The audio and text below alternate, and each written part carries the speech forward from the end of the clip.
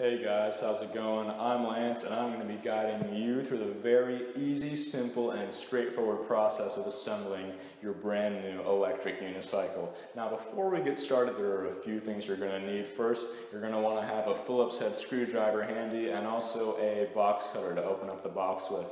Now before we even do anything, I'm just going to say this. We're going to first lay out all the parts for you, explain to you what they are, what they do, how they function. Then we're going to go ahead and move on to installing the training wheels of the electric unicycle, which is a very, very simple procedure.